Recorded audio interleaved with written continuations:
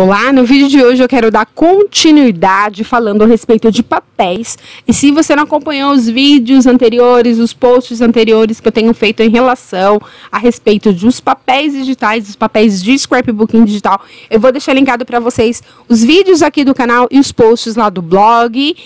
Tenho compartilhado também no Insta e no Face a respeito dos papéis. Então, se você não viu, corre lá, assiste para você ficar sabendo de tudo que eu tenho postado a respeito dos papéis digitais, dos papéis de scrapbooking digital, digitais e como é esse processo de criação e como é feito a criação desses papéis, tá? Não tenho compartilhado uh, a respeito dos elementos ainda que vão ser posts e vídeos que vão vir daqui a alguns dias, mas já acompanho a respeito dos papéis, tá joia? Esse daqui é um kit digital que eu fiz já tem algum tempo. É um kit digital que se chama Maré.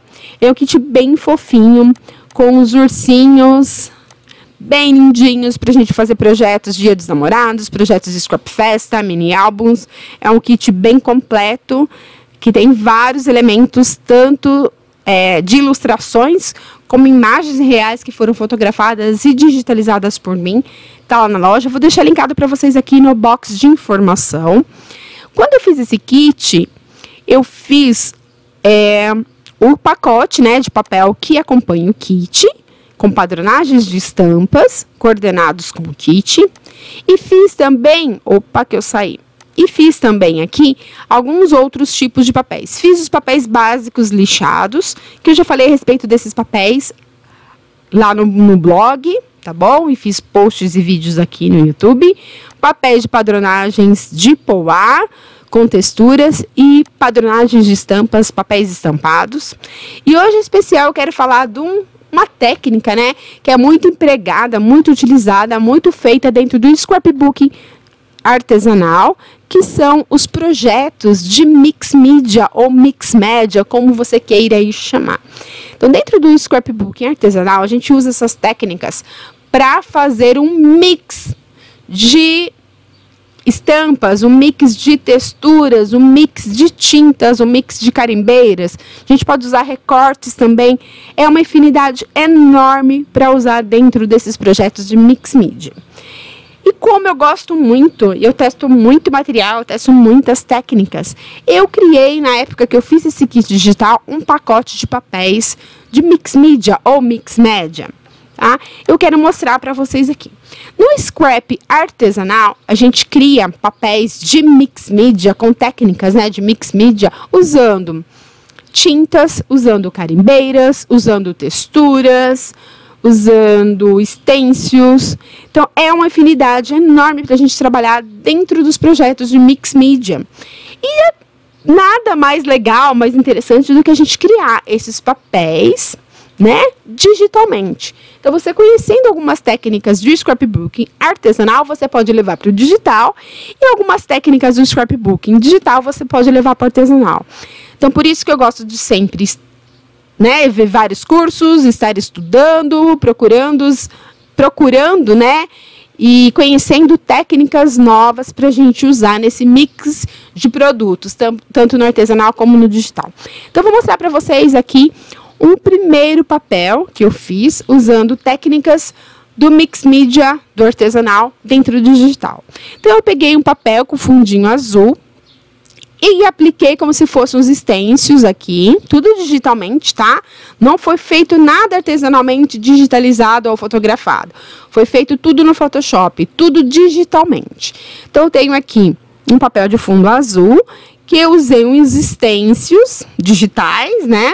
No caso, os brushes.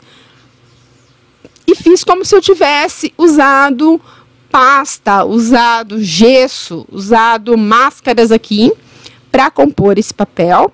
Usei também ah, algumas técnicas de como se fosse uma carimbeira e como se fosse pinguinhos de tinta.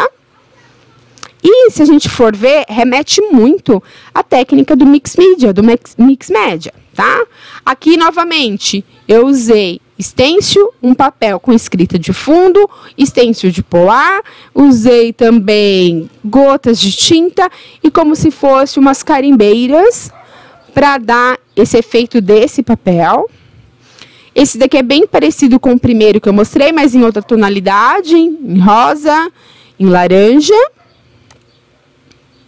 Esse também é igual o que eu mostrei anteriormente, mas eu usei uma variação diferente de cores, tá? Como se tivesse pinceladas, gotas de tintas, carimbeiras, estêncil. Muito parecido com as técnicas que a gente usa no artesanal. Então é isso que eu queria mostrar para você hoje, tá? Que a gente pode mesclar e você entendendo, sabendo trabalhar dentro do Photoshop e das técnicas de criação de kits digitais, as técnicas de criação de papel digital com qualidade, você consegue reproduzir um papel que assim que você imprimir, você consegue ter a sensação que foi feita uma arte de mix media é, artesanal mesmo, tá? Ele fica bem próximo, muito parecido mesmo. Vou dar um zoom aqui para vocês verem, ó. Bem parecido mesmo. Aqui, usei como se fosse um stencil, carimbeiras, tintas, tá? Aqui, é, carimbeiras, é, pasta, né, gesso. E aqui também. Aqui é o pacote de papéis. Eu vou deixar linkado para vocês aqui na descrição do vídeo o link desse pacote de papéis que está disponível lá na loja. Dá para a gente fazer uma infinidade e uma variedade enorme de projetos usando, usando esses kits digitais, esses papéis digitais. Algum tempo atrás eu fiz esse essa quick page para deixar disponível para vocês lá na loja. Para falar a verdade, eu nem lembrava disso, eu nem sei se ainda está disponível. Mas eu usei ó, um papel digital de mix media com os papéis coordenados com o kit, fiz o arranjinho floral e um espaço para colocar foto. Ficou disponível algum tempo free lá na loja, mas eu nem sei se está mais, preciso rever esse arquivo se ele ainda existe e se ele ainda estiver disponível lá na loja, eu vou liberar para vocês aqui, tá? Não tenho certeza, eu preciso confirmar isso. Mas olha, fica bem diferente, muito bonito e bem com técnicas mesmo que a gente usa dentro do scrapbook artesanal. A gente pode pregar no digital e ficam projetos lindos, muito mais econômicos, é, que a gente pode imprimir em casa, que a gente pode imprimir na gráfica. Então era isso que eu queria compartilhar com você hoje sobre os papéis digitais de Mix Media. Espero muito que você tenha gostado. Se gostou, curte, não deixe de se inscrever no canal, compartilhem com os amigos. Beijos, tchau!